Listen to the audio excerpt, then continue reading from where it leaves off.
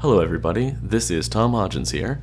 In this video, I'm going to show you how to use an application called Fluid to turn websites you visit frequently into applications that you can put into your OS X dock for easier access. First, head over to fluidapp.com to download the latest version of Fluid. You're going to need Mac OS X Leopard or Snow Leopard in order for this to work. Once Fluid is downloaded, simply run the application, type in the name of the site you wish to create an app for, set a name for your application, and if you want it to look pretty, set a custom icon. Watch as I create an app for one of my favorite websites ever, Daily Booth.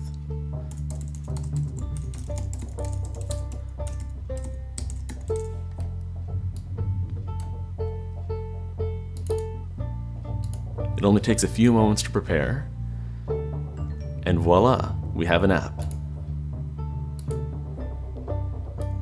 It really is that easy to create an app with Fluid. Notice down here I've got a Facebook app I made with my own custom icon. There you have it. Check the comments for a link to the Daily Booth app I created in this tutorial, or download Fluid and make your own Daily Booth app right now. Take care, and see you on Daily Booth.